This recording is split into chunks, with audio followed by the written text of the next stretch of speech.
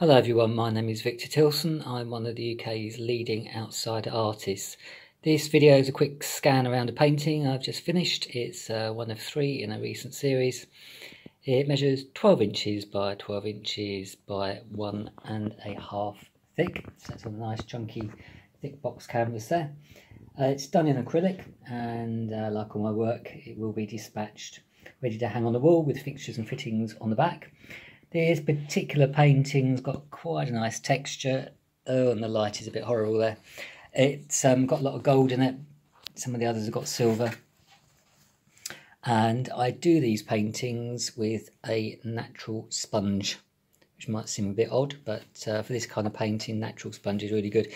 If you ever try painting and you you want to have a go with a sponge or something like that, always go for the natural ones. You'll find they'll be a lot easier to deal with, a lot easier to clean completely different sensation when you're using a natural sponge and you can buy a pack of them quite cheap online um, yeah avoid the man-made ones because um, not good for the environment and they're just not the same.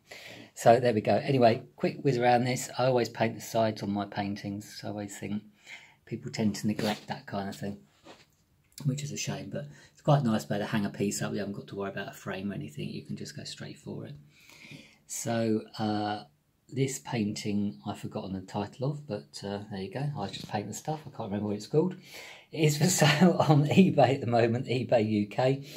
If you are interested, uh, just Google my name, Viktor Tilson. That's V I K T O R, and then Tilson T I L S O N. You can have a look at the website, which is viktortilson.com. And if you want to send me an email, uh, you can always get in touch uh, by dropping me an email at viktortilson at yahoo.co.uk. And on dreaded Instagram and a few other bits and bobs, you can see what I've been doing. I've been painting for about 30 odd years now, so um, kind of think I might be getting the hang of it now. Anyway, that's a quick whiz around this one. There's uh, lots of other videos you can have a look at, so please have a look at those. Any comments, more than welcome. So um, thanks a lot for your time.